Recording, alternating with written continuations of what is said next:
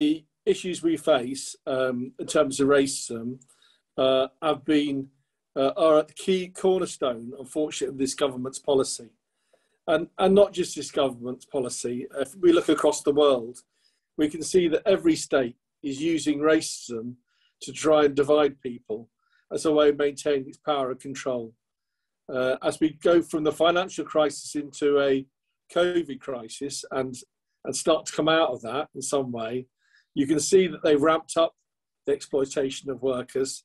We're the ones pay, paying for the increased cost of living, and yet they're using the both in this country uh, attacks on refugees, on migrants, on the Roma, on Muslims as a way of justifying uh, their their policies and of trying to scapegoat minorities for the, the financial difficulties they're placing on the British people.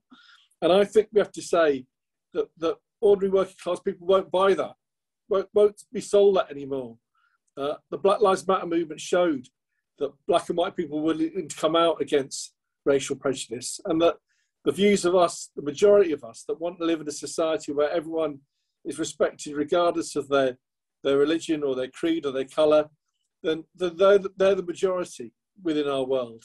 It's just that we're not the ones in power at the moment. And I think to our, our day on, on March 19th is showing that we are the, another superpower. The people across the world have the power to change the world we live in. Uh, not just against racism, against war, against a system that puts uh, profit before people's lives. That, that, that our demonstrations across the world on that day will be a statement to say that we want the world to change. And I think we have to put a message out to people that actually demonstrating makes a huge difference.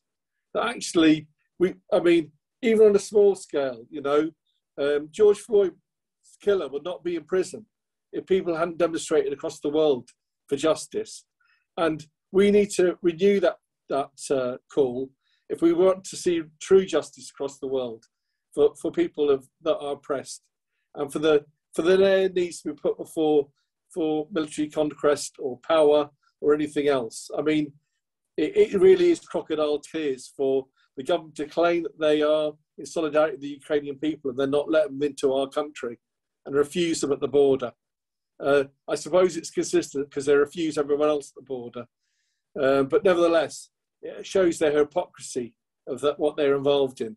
And that's why it's really important we redouble our efforts in the final couple of weeks before the demonstration to make sure that we have the biggest turnout possible on March 19th. Um, just going to say, um, Uh, I've got a delegation of over 22 from my union branch. I've got over 20 coming from my Northwest Black Members Committee, and I'm sure we can all do the same. But think about who we know and who should be on that demonstration with us. So, solidarity to all of you. Solidarity will defeat racism. Let's stand together. Let's make sure March 19th is big as possible. Thank you.